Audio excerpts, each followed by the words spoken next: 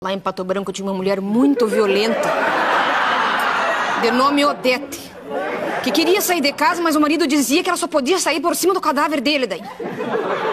E ela fez o quê? Deu um tiro nele.